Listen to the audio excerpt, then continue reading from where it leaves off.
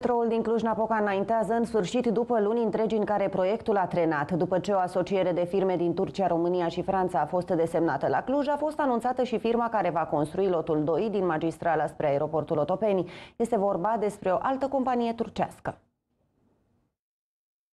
Lotul 2 al magistralei M6 trenează de foarte mult timp. Pentru acești bani, România are parte de un împrumut acordat de guvernul Japoniei, însă proiectul a întârziat foarte mult timp. Acum licitația a fost câștigată de o asociere de firme din Turcia. Magistrala așteptată, linia de metrou care ar trebui să ne ducă la aeroportul Otopeni, de cel puțin uh, 16 ani, din 2007-2008, era ministrul transporturilor, era uh, domnul uh, Ludovic Orban, atunci practic uh, uh, s-a pus uh, baza, s-au pus bazele acestei linii studiile de fezabilitate și așa mai departe. Lotul 2 ar urma să aibă șase stații de la Mol Băneasa la aeroport și să coste aproape 1,3 miliarde de lei. El ar urma să facă conexiunea cu lotul 1 finanțat din fonduri europene care face legătura dintre cartierul Băneasa și Gara de Nord. În aceeași zi a fost anunțat și câștigătorul licitației la metroul de la Cluj. E vorba de asocierea dintr-o firmă din Turcia care se numără printre cele câștigătoare la tronsonul de la aeroport, una din Franța și una din România. Pentru acest traseu sunt prevăzuți aproximativ 9 miliarde de lei prin PNRR.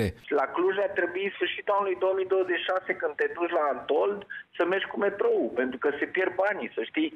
Deci, în mod normal, Clujul, dacă nu uh, taie panglica, domnul Boc sau cine va fi primar atunci, nu taie panglica la sfârșitul 2026 pentru cei uh, 26 de km de linie și 19 stații de metrou de la Cluj, de în zona Felea, până în Mănășturi, Florești și așa mai departe, se pierd banii. Până să iasă însă în teren, constructorii au de așteptat depunerea și soluționarea eventualelor contestații. Mai devreme de vara acestui an nu se vor semna aceste contracte și din punctul meu de vedere lucrurile vor începe undeva în 2024.